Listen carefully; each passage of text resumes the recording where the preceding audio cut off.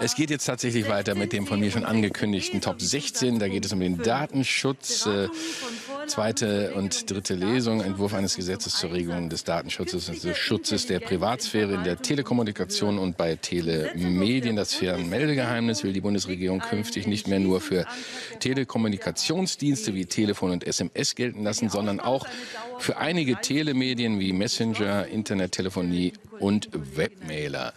Darum geht es im Großen und Ganzen. Und der erste Redner, der das hier vorstellen wird, ist von der CSU. Hans-Jörg Durz wird gleich das Wort bekommen. Er ist der stellvertretende Vorsitzende im Ausschuss äh, Digitale Agenda. Aber zunächst muss noch ein bisschen mehr Ruhe einkehren hier im Plenarsaal. Und Claudia Roth hat das auch angemahnt. Und jetzt geht's los mit dem von mir schon angesprochenen Hans-Jörg Durz.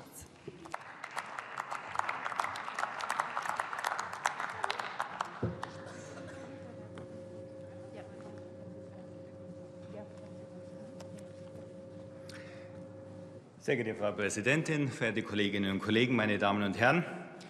Heute ist ein guter Tag für den Datenschutz, denn er ist nun nicht mehr nur schmückendes Beiwerk des Telekommunikationsgesetzes oder des Telemediengesetzes, sondern er bekommt nun ein eigenes Stammgesetz. Somit schaffen wir einen übersichtlichen Rechtsrahmen für den Datenschutz und setzen die E-Privacy-Richtlinie in Deutschland um. Klare Klare Datenschutzregeln schaffen wir auch für die Zeit nach dem Ableben der Nutzer. Denn mit diesem Gesetz stellen wir klar, dass das Fernmeldegeheimnis der Rechtewahrnehmung durch Erben und andere berechtigte Personen in der Rechtsnachfolge des Endnutzers nicht entgegensteht und schaffen somit Rechtsklarheit für das digitale Erbe.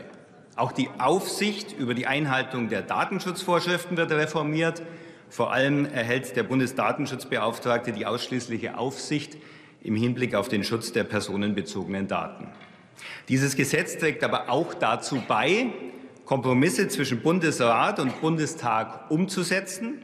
Das gilt zum einen für die Bestandsdatenauskunft. Der Kompromiss, der im Vermittlungsausschuss zwischen den Parteien gefunden wurde, findet sich in diesem Gesetz Wort für Wort wieder.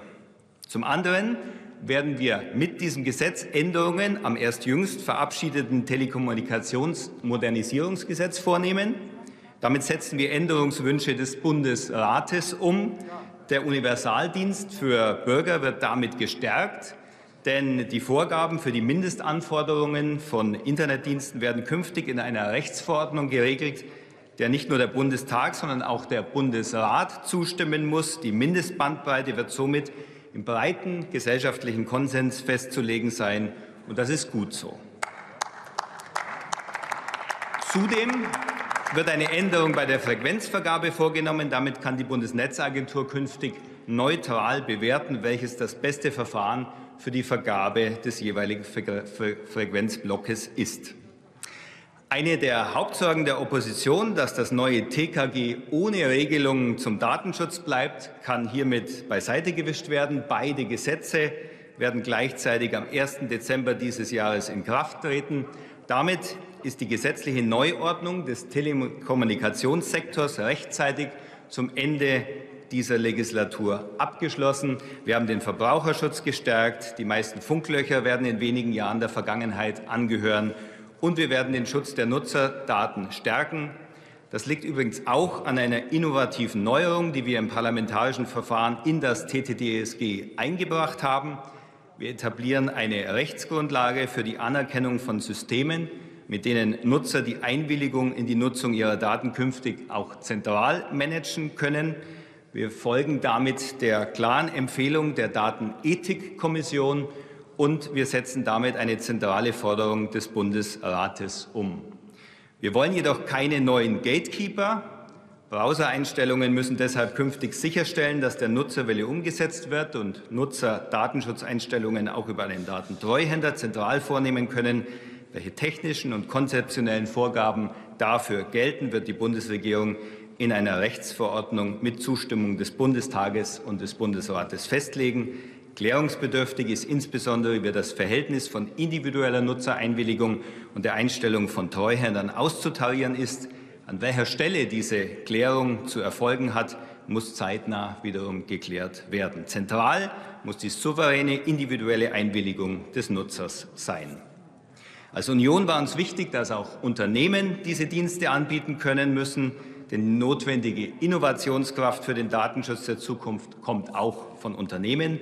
Damit setzen wir ein Zeichen für die Verhandlungen der E-Privacy-Verordnung. Wir werden uns auch dort dafür einsetzen, dass Datenschutz auch durch unternehmerisches Handeln gestärkt wird und eine vernünftige Grundlage für die Datenökonomie der Zukunft wird. Vielen Dank. Vielen Dank, Hans-Jörg Dutz. Soweit also Hans-Jörg Durz, der hier die Debatte eröffnet hat zum Gesetzentwurf der Bundesregierung und auch zu Anträgen der FDP-Fraktion, die hier drei Anträge insgesamt eingereicht hat. Enrico Komning spricht als nächstes für die AfD-Fraktion.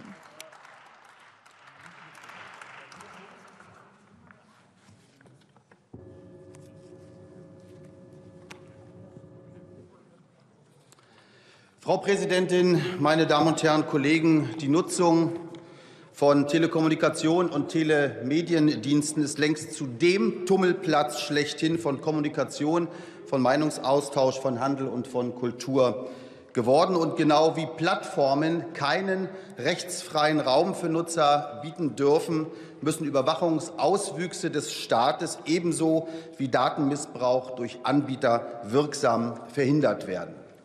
Klassische, klassische Telekommunikationsformen verlieren an Bedeutung. Mit der mutwilligen, nur vermeintlich Corona-bedingten Zerstörung der klassischen analogen Wirtschaft und unserer Gesellschaft verlagern sich viel schneller als noch vor kurzem befürchtet die meisten Lebensbereiche in die digitale Parallelwelt. Nicht Bitcoin, sondern Daten sind die Währung des 21. Jahrhunderts. Das bedeutet, der Kunde, der Endverbraucher muss wissen, welche und wie viel Daten er für welche Leistung preisgibt. Er muss Herr seiner Daten sein, und der Staat muss ihn dazu in die Lage versetzen. Sicherheitsbehörden müssen Gefahrenabwehr und Strafverfolgung nach rechtsstaatlichen Grundsätzen betreiben. Es kann kein Freifahrtsschein für Ausspähen innerhalb von Telekommunikations- und Telemediendiensten geben. Den gläsernen Bürger, meine Damen und Herren, lehnen wir ab. Und auch Unternehmen und auch Unternehmen, die für erbrachte Leistungen Daten der Endverbraucher erheben und nutzen wollen, müssen grundsätzlich immer auf die Einwilligung des Datengebers angewiesen sein. Wir begrüßen daher im Grundsatz die Bündelung der Datenschutzbestimmungen in einem Gesetz. Das bislang bestehende Nebeneinander von Datenschutzgrundverordnung, Telemediengesetz und Telekommunikationsgesetz hat auf allen Ebenen bei Verbrauchern, bei den Diensteanbietern und Aufsichtsbehörden zu vielerlei Rechtsunsicherheiten geführt. Die Regelungen im Einzelnen bleiben aber zu häufig im Ansatz stecken und sind nicht oft zu Ende gedacht. Die behördliche Verantwortung für die Durchsetzung einzelner Regelungen bleibt in dem neuen Gesetz offen. Der Bußgeldkatalog des § 26 TTDSG entfaltet nach wie vor kaum Abschreckungswirkung.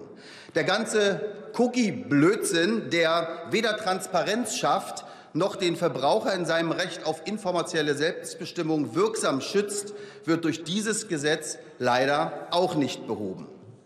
Die Einführung eines PIMS, eines Personal Information Management Service, zum Beispiel zum Umgang mit Cookie-Anfragen und zur Einwilligungsverwaltung, wird auch in diesem Gesetz nicht umgesetzt.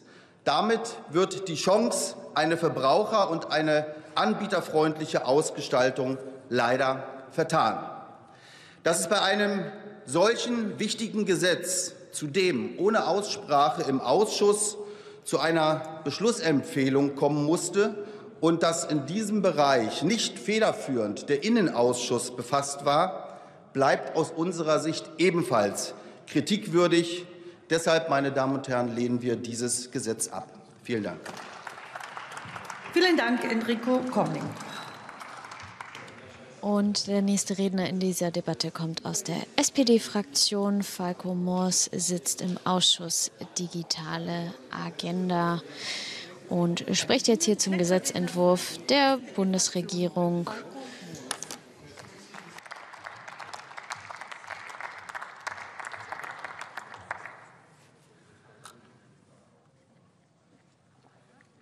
Ja, sehr geehrte Frau Präsidentin, meine Damen und Herren!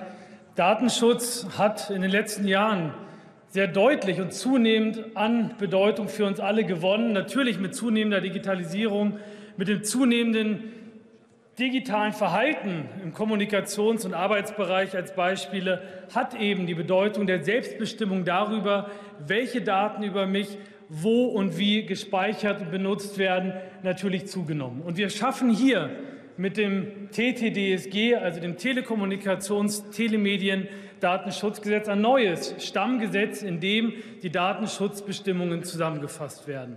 Das heißt, wir verhindern eben, dass wie bisher in unterschiedlichen Gesetzen widersprüchliche, teils widersprüchliche Regelungen bestanden. Wir schließen mit diesem Gesetz einige Lücken, die beispielsweise noch offen waren in der Umsetzung der Privacy-Richtlinie und schaffen so ein konsistentes Stammgesetz für den Datenschutz im Bereich der Kommunikation. Das, meine Damen und Herren, ist gut und es schafft Rechtssicherheit für alle. Das Gesetz beinhaltet auch Klarstellung im Bereich des digitalen Erbes. Es stellt nämlich klar, dass das Fernmeldegeheimnis nicht den Rechten des Erbnehmers entgegensteht. Insofern ist auch hier eine jahrelange Rechtsunsicherheit mit diesem Gesetz, die beendet wird, weil eben Klarheit geschaffen wird, dass auch das digitale Erbe an die Erben weitergeht, sofern nichts anderes geregelt ist. Auch hier wichtig, dass Klarheit geschaffen wurde, meine Damen und Herren. Und wir alle kennen das, es ist angesprochen worden, dass wir, wenn wir im Internet unterwegs sind, permanent konfrontiert werden mit Bannern, die wollen, dass wir bei Cookies zustimmen oder auswählen, welche Art der Cookies wir denn eigentlich wollen. Und am Ende führt das dazu, dass die meisten von uns eher genervt den schnellsten Weg suchen, wie ich diesen Banner eigentlich loswerde und endlich auf die Website komme und nicht dazu führt, dass wir uns bewusst entscheiden, ob wir einwilligen, in welche Art der Cookies wir einwilligen und was das eigentlich zur Folge hat. Und deswegen ist es wichtig, meine Damen und Herren, dass wir auch hier mit diesem Gesetz eine Grundlage für Personal Information Management Systems, also PIMS, schaffen. Wo wir nämlich sagen, in Zukunft, wenn diese PIMS eingesetzt werden sollen, wo ich eben bewusst sagen kann, bei bestimmten Anwendungen stimme ich zu, bei anderen stimme ich nicht zu, dass hier eben bestimmte Grundlagen und Eckdaten, beispielsweise Unabhängigkeit, gewahrt werden müssen, weil es eben nicht sein darf, dass der Anbieter eines solchen Systems, dem ich ja am Ende anvertraue, mit meiner Einwilligung verantwortungsvoll umzugehen, dass der ein eigenes Interesse hat. Das muss aber, weil es eben sehr kompliziert ist, durch Rechtsverordnung noch ausdefiniert werden. Das muss durch den Bundestag und durch den Bundesrat. Und dann haben wir hier eine gute Grundlage geschaffen, meine Damen und Herren. Und lassen Sie mich die letzten Sekunden noch mal ganz kurz für etwas Persönliches nutzen, denn wir wissen ja alle nicht, was in den nächsten fünf Monaten noch kommt. Aber höchstwahrscheinlich wird es im Laufe dieser Debatte die letzte Rede von meinem wirklich sehr geschätzten Kollegen Gustav Herzog nach 23 Jahren im Bundestag sein. Und lieber Gustav, ich sage dir nach der wirklich intensiven Zusammenarbeit, nicht nur bei dem, sondern vor allem im Bereich des Telekommunikationsgesetzes, ohne zu übertreiben. Es war mir eine Freude, es war mir eine Ehre, mit dir zu arbeiten und von dir lernen zu dürfen. Und du hast nicht nur gezeigt, dass du Verantwortung übernehmen kannst, sondern dass du sie auch übergeben kannst. Wirklich von Herzen herzlichen Dank für deine Arbeit und deine Unterstützung.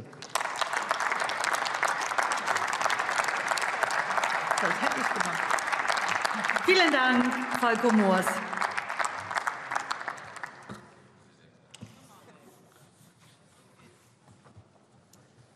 Danke Ihnen. Ich danke Ihnen. Nächster Redner für die FDP-Fraktion, Manuel Höferlin. Manuel Höferlin ist der digitalpolitische Sprecher der FDP-Fraktion. Sehr geehrte Frau Präsidentin, meine lieben Kolleginnen und Kollegen! Ein bisschen ist der, Gesetzentwurf und vor allem der Änderungsantrag ein bisschen vergleichbar mit der Operation Abendsonne, wo noch Personal auf den letzten Drücker untergebracht werden soll. So hat man manchmal auch ein bisschen den Eindruck, dass Sie noch schnell ein paar Dinge einfügen wollen, die Sie vielleicht in der nächsten Legislatur nicht mehr so gestalten können. Ich möchte, ich möchte auf einen Punkt eingehen, den Sie per Änderungsantrag vorgestern Abend äh, noch eingefügt haben, auch wieder mit viel Vorlauf für die Opposition. Sie kapern regelrecht den Begriff dieser PIMS, dieser Personal Information Management Systems. Es ist eine Nebelkerze, denn das, was Sie da in dem Änderungsantrag machen, ist überhaupt nicht PIMS, sondern es ist im Prinzip ein, Sie nennen es Cookie-Einwilligungstool, im Prinzip ist es ein Helferlein, das Häkchen setzt automatisiert. Es ist aber nicht ein wirkliches System, um die Informations-Selbstbestimmung der Menschen zu organisieren und zu managen.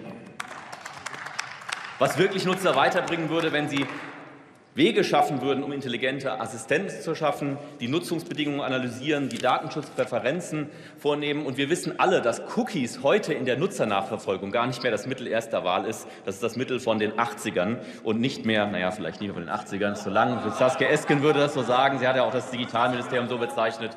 Aber die Cookies gibt es schon sehr lange und heute werden ganz andere Methoden genutzt. Genau, die 90er, sehr gut.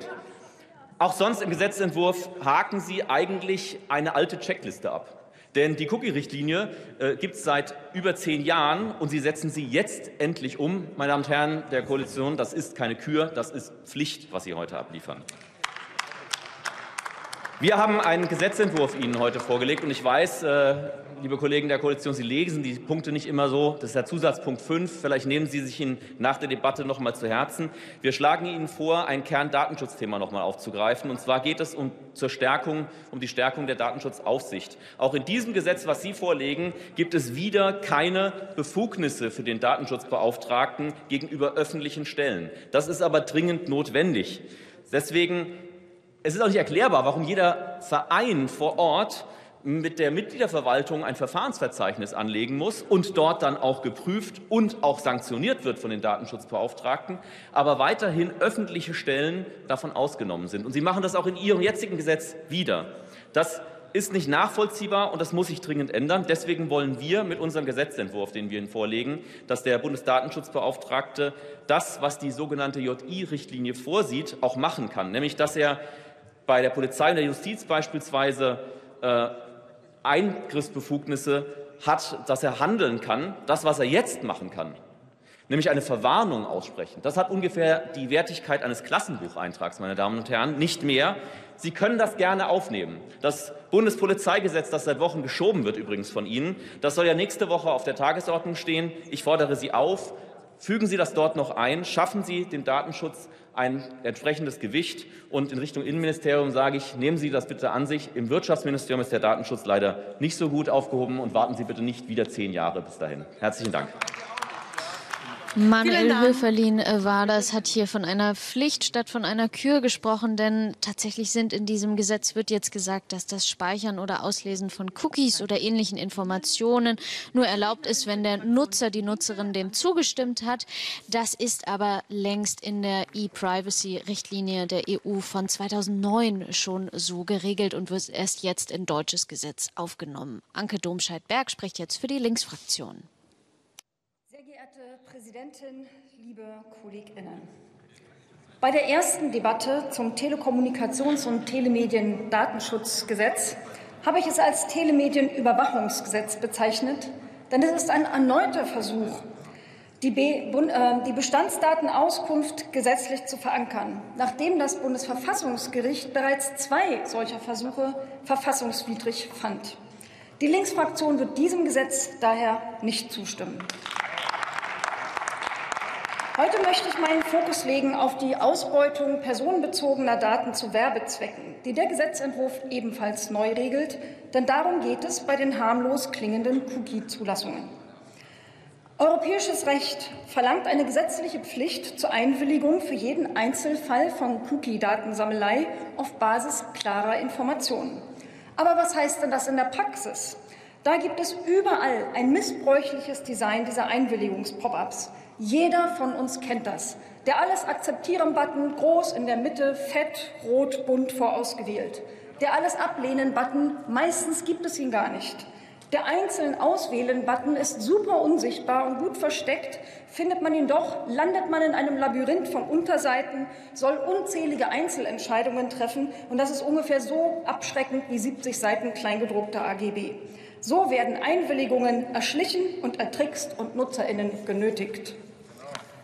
Das Einwilligungsprinzip fördert aber auch soziale Ungleichheit, denn sehr oft begegnen uns im Netz zwei Optionen. Wer alle Cookies zulässt darf Angebote kostenlos nutzen. Wer Privatsphäre will, der soll dafür zahlen. Aber wer will dann eine Gesellschaft, in der Privatsphäre ein Privileg für Wohlhabende ist? Die Linksfraktion will das jedenfalls nicht.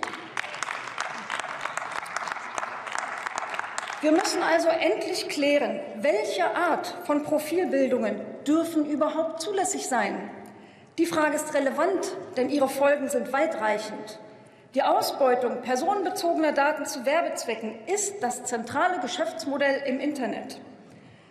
Und weil personalisierte Werbung dieser Art auch das Geschäftsmodell von Facebook und Co ist, führt das am Ende zur Verbreitung polarisierender Inhalte wie Lauffeuer und vergiftet unsere Gesellschaft. Gegen diese Fehlentwicklung hilft nur ein Verbot der massenhaften Durchleuchtung von Internetnutzerinnen für Werbezwecke. Denn auch mit einer Einwilligung darf nicht alles erlaubt sein. Siehe Organhandel. Die Linksfraktion fordert daher die Bundesregierung auf, sich für ethische Grenzen bei der Profilbildung bei den Trilogverhandlungen in der EU zur E-Privacy-Verordnung einzusetzen. Im Übrigen bin ich der Meinung, Informationen zu Schwangerschaftsabbrüchen haben nichts im Strafrecht verloren. Paragraph 219a gehört abgeschafft. Vielen Dank. Vielen Dank, Anke Domscheit-Berg. Nächster Redner in der Debatte ist Konstantin von Notz. Er ist der stellvertretende Fraktionsvorsitzende der Grünen Fraktion hier im Deutschen Bundestag. Nächster Redner für die Fraktion Bündnis 90 Die Grünen, Dr. Konstantin von Notz.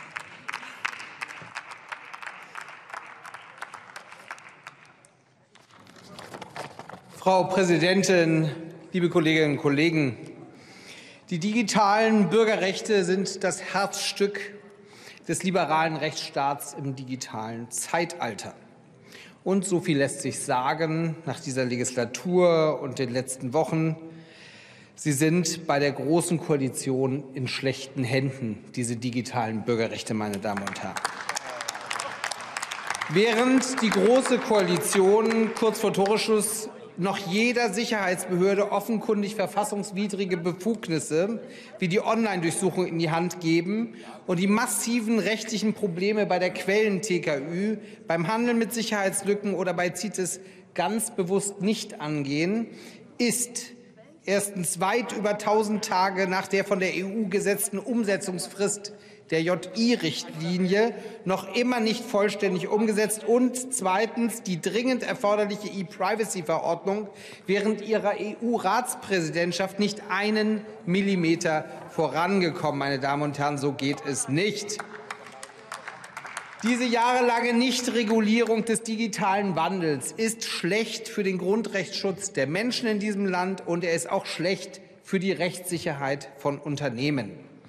Das direkte Ergebnis von all dem kennen wir alle. Anke Domscheit-Berg hat es angesprochen. Es ist eine nervtötende Flut von Cookie-Bannern, die wir jeden Tag alle zigmal erleben.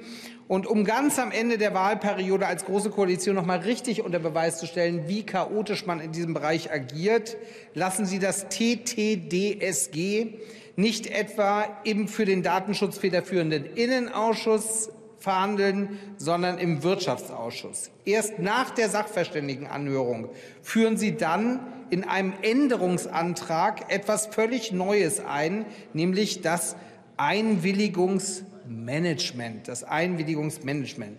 Und das sozusagen erst in der zweiten Kurve, ja, diesen wesentlichen Baustein, das zeigt, dass das von Tankred Schipanski oft beschworene Feuerwerk digitaler Gesetzgebung der Großen Koalition in Wahrheit ein Tischfeuerwerk voller Rohrkrepierer und Nebelkerzen ist, Tankred Schipanski. Ja, so ist es. Es ist grundsätzlich richtig und wichtig, dass die Datenschutzregeln in ein eigenes Gesetz kommen und dass bei den Cookies endlich Lösungen geschaffen werden. Die datenschutzrechtliche Einwilligung darf nicht ad absurdum geführt werden. Sie braucht eine gute rechtliche Absicherung. Gleichzeitig muss es aber gänzlich untrackbare Bereiche geben. Das liefern Sie leider nicht. Das Gesetz beinhaltet weiter auch verfassungsrechtlich zumindest problematische Datenauskünfte Ähm, all das, der Datenschutz äh, schützt die Daten, er schützt die informationelle Selbstbestimmung und die Menschenwürde der Bürgerinnen und Bürger. Und er ist eben kein Nice to have. Das muss die Grundlage unserer Politik sein. Die GroKo hat das leider in dieser Wahlperiode nicht geliefert. Das ist sehr bedauerlich. Hoffentlich wird es ab September besser. Vielen Dank. Vielen Dank, Dr. Konstantin, Konstantin von Notz. Guckt auf die Bundestagswahl bzw. auf die Zeit danach. Und ich äh, sage es nochmal, falls es doch Menschen gibt, die sich fragen, äh, was hier die Cookies sind, über die gesprochen wird. Das sind Dateien, die die Websites auf Computern der Nutzer speichern und dann so zum Beispiel dann wissen, wenn ein Nutzer zum zweiten Mal auf eine Seite kommt, ob er da eben schon mal drauf war. Oder er kann auch die Aktivitäten der Nutzer für Web-Werbezwecke nachverfolgen. Axel Knöring spricht jetzt für die Unionsfraktion. Mitarbeiterinnen und Mitarbeiter in den Ressorts Wirtschaft, Innen- und Justiz, an die Arbeitsgruppen der Koalitionsfraktionen und insbesondere an Hans-Jörg Durz und Falco Moors. Die Mühe der letzten Wochen hat sich gelohnt. Das Gesetz zur Regelung des Datenschutzes und des Schutzes der Privatsphäre in der Telekommunikation und bei Telemedien, kurz TTDSG, was wir heute verabschieden, ist ein wichtiger Schritt und ich ergänze, es ist auch ein notwendiger Schritt. Lassen Sie mich aus Sicht der CDU-CSU die drei wichtigsten Elemente nennen und auch entsprechend einordnen. Ich beginne hier vom Ende her. Endlich wird der digitale Nachlass geregelt. Zum digitalen Nachlass wird nach zahlreichen Klagen von Erben nun klargestellt, dass die rechte Wahrnehmung durch Erben dem Fernmeldegeheimnis nicht mehr entgegensteht. Damit können Erben einen Zugang zu den Daten des Verstorbenen erhalten, um die Nachlassverwaltung auch hier zu organisieren. Dieser Schritt, meine ich, war längst überfällig. Und wir haben weiterhin beim Datenschutz im Internet sinnvolle Verbesserungen erzielt. Bundesregierung und Koalition haben sich darauf verständigt, dass das permanente Bestätigen oder Anpassen von Werbeanfragen der Vergangenheit angehören. Das Anpassen von Tracking war in Wahrheit nie ein Beitrag zu mehr Datenschutz. Jetzt gilt, feste Voreinstellungen zu Werbung auf dem Smartphone sind rechtswidrig. Surfen im Internet wird Obgleich, ob es mobil oder stationär erfolgt, wird mit dem neuen Gesetz leichter, bequemer und vor allem sicherer. Es ist über 20 Jahre her, da hat sich die Deutsche Telekom aufgemacht, mit dem Projekt der virtuellen Kommune kommunale Verwaltungsdienstleistungen in Deutschland zu digitalisieren. Nicht erst seit der Corona-Pandemie wissen wir, dass diese Vorhaben überwiegend nicht erfolgreich waren. Die Digitalisierung der öffentlichen Verwaltung ist bis heute viel zu oft noch kein Vorzeigeprojekt.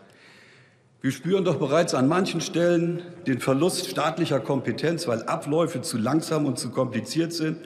Nicht alles, aber vieles hängt dabei an einer unzureichenden digitalen Infrastruktur und einem Mangel an vernetztem Denken. Das heute zu verabschiedende Gesetz für besseren Datenschutz ist zweifellos wichtig. Es bliebe aber Stückwerk, wenn es nicht eingebettet wird in eine neue Datenkultur. Und diese neue Datenkultur, die besteht aus vielen Elementen, wenn wir die Digitalisierung der Verwaltung rasch, also innerhalb der nächsten Legislaturperiode vollziehen wollen, ist ein Element hier entscheidend für den Erfolg der Open Data Ansatz.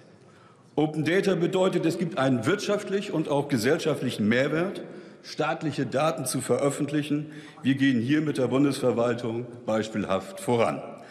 Definierte Standards sind zudem die Grundlage für Geschäftsmodelle, bei denen unterschiedliche Ideen und Ansätze im Wettbewerb gegenüberstehen und dennoch kompatibel bleiben. Dieser Wettbewerb hilft auch vielen Start-ups und vor allem den mittelständischen Unternehmen, sich erfolgreich mit dem großen Tech-Unternehmen zu messen, denn alle haben den gleichen Programmierstruktur, den gleichen Quellcode als Zugang. Zum Schluss ein Wort zum Datenschutz der Zukunft. Ich glaube, dass die Datenschutzgrundverordnung der EU eine richtige Entscheidung war. Und dennoch muss sich die weitaus größere Zahl an Nutzern auf der Welt an die DGSVO nicht gebunden fühlen. Was tun? Die finnische Initiative MyData versteht Nutzer von Smartphones im Internet als respektierte Datengeber. Die Idee ist simpel, aber effektiv. Die Menschen sollen auch beim Teilen ihrer Daten im Besitz ihrer Daten bleiben und jederzeit auch die Kontrolle darüber behalten. Das schaffen wir nur mit staatlichen Datenschutzvorgaben im TDDSG durch zwei Instrumente, mit Personalinformationsmanagementsystem wird das Einwilligungsmanagement datentreuhänderisch organisiert und Browser werden per Werkseinstellung verpflichtet, das nicht zu behindern. Das ist der moderne Geist des TTDSG. Im Zentrum eines modernen Datenschutzes sollte also immer der Schutz erhobener Daten vor fremden Zugriff stehen. Und das ist gewährleistet. Ich bin ganz sicher, wir stehen vor dem Beginn einer neuen Datenkultur. Mit dem TTDSG legen wir heute immerhin die datenschutzrechtlichen Grundlagen dafür, dass die informierte Einwilligung zum Zugriff auf persönliche Daten durch die Bürgerinnen und Bürger gestärkt wird. Das ist ein erster Schritt, und darüber freue ich mich. Vielen Dank, Axel Knörig. Und damit kommen wir zum letzten Redner hier in dieser Debatte. Es wurde ja schon angekündigt, danach wird über den Gesetzentwurf der Bundesregierung sowie über zwei Anträge der FDP abgestimmt. Über einen dritten Antrag der FDP wird nur entschieden, dass er an die, an die Ausschüsse überwiesen wird glaube, ich spreche im Namen von vielen Kolleginnen und Kollegen hier im Haus. Vielen herzlichen Dank für 23 Jahre Einsatz für unsere parlamentarische Demokratie. Wir bedanken uns dafür und ich wünsche Ihnen von ganzem Herzen für den nächsten Abschnitt alles Gute, viel Neues, viel Aufregendes und bleiben Sie gesund. Und jetzt haben Sie das Wort zu Ihrer letzten Rede hier im Deutschen Bundestag.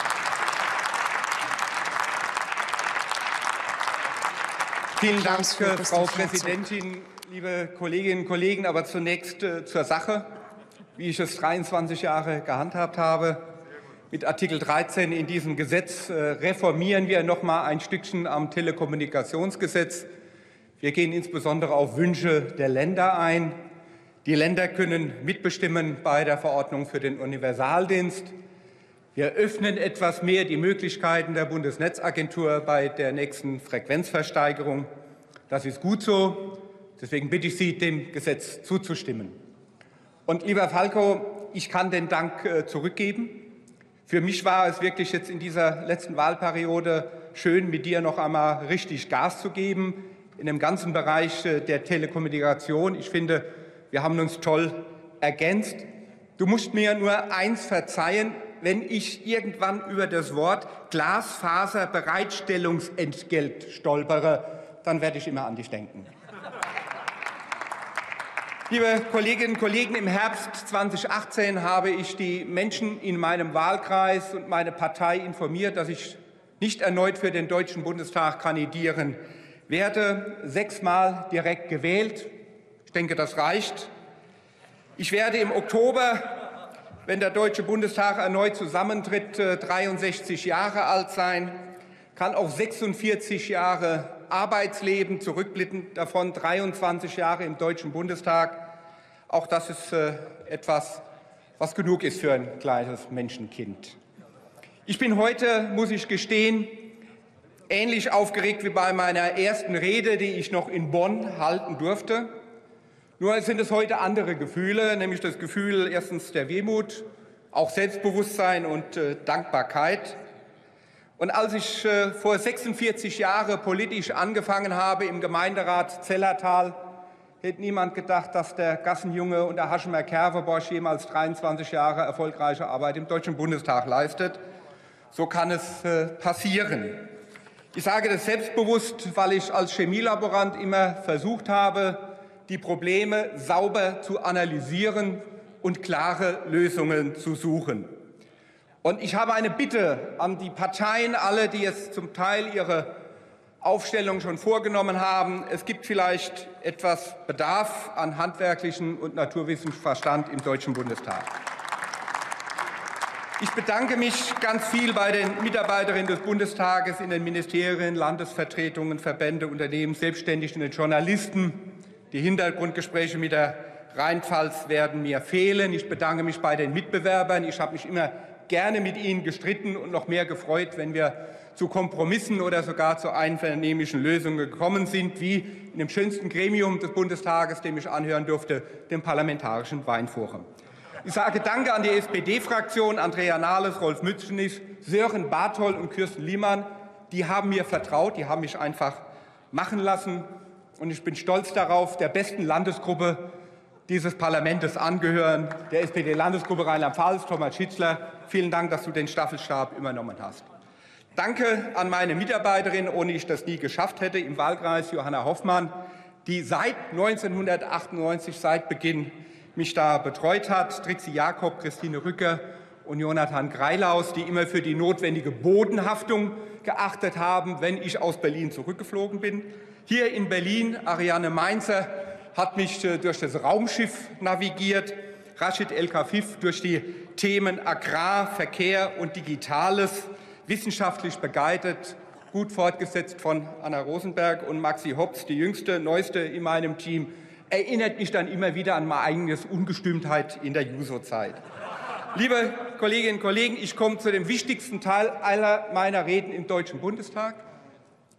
Ich bedanke mich bei meiner Familie, weil sie hatte die eigentliche Last zu tragen, wenn ich als Abgeordneter unterwegs war.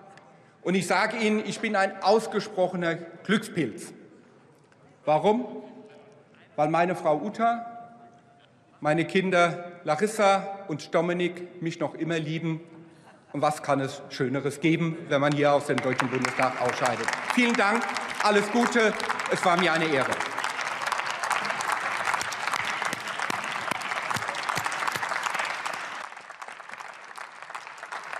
Ja, und da gibt es jetzt Applaus hier aus dem Deutschen Bundestag, fraktionsübergreifend. Sechsmal direkt gewählt. Vielen ich Dank, denke, das Gustav reicht, Herzog. sagt Gustav Herzog. Alles Gute und genießen Sie hoffentlich einen guten Jahrgang.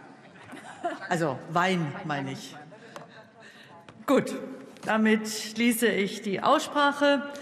Tagesordnungspunkt 16a. Wir kommen zur Abstimmung über den von der Bundesregierung eingebrachten Gesetzentwurf zur Regelung des Datenschutzes und des Schutzes der Privatsphäre in der Telekommunikation und bei Telemedien.